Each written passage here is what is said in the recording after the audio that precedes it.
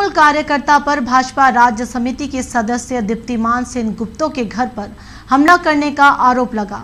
रविवार की रात बुज़ुर्ग माँ और बार बार हमला करने के आरोप लगाया। आप एक बार फिर सुनिए, तृणमूल कार्यकर्ताओं पर हमला राज्य समिति के सदस्य दीप्तिमान सेन गुप्तो के घर पर हमला करने का आरोप लगा।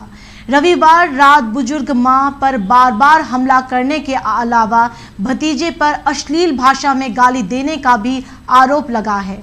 घर के सामने बम भी रखे गए थे और घर के चारों ओर टीन के घेरे को भी तोड़ने का प्रयास किया गया। हालाँकि तृणमूल ने आरोपों से इनकार किया।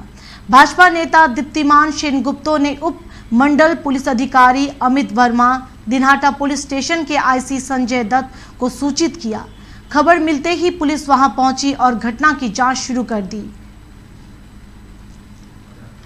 যখন বিকেলবেলা সাড়ে পাঁচটার দিকে একবার খবর এলো যে কাউন্টেড ভোটে অর্থাৎ যেটা ইভিএম এর ভোট ছিল সেই ইভিএম এর ভোটে আহ, উদয়ন গুহ জিতে গেছেন হুম তখন আহ, আমার বাড়ির ওপর আক্রমণ হয় হুম এই সমস্ত এলাকাটাকে আহ, আমার দিকে তো আক্রমণ করে এবং বাড়িতে বোম ফেলে, বাড়ির মাঝেও কিছু বোম পড়েছিল এবং এইখানে এখন দেখা যাচ্ছে যে এইখানে একটা বোমের এখনও সুতলি পড়ে আছে। এবং সঙ্গে সঙ্গে আমি তো তখন ওখানে ছিলাম কাউন্টিং হলে ছিলাম। ফলে আমার কাছে কোনো ফোন ছিল না, আমি কোনো একটা মাধ্যম দিয়ে খবর পাই যে আমার বাড়ির ওপর আক্রমণ হয়েছে। এবং তার পরবর্তীকালে আমার বাড়িতে যারা গার্জিয়ানরা আছে, তারা আমাকে এই বিষয়টা সম্পর্কে জানায়। আমি এসডিও সাহেব ওখানে ছিলেন, আমি ওনাকে জানাই, আইসি সাহেব ওখানে ছিলেন, আমি ওনাদের জানাই।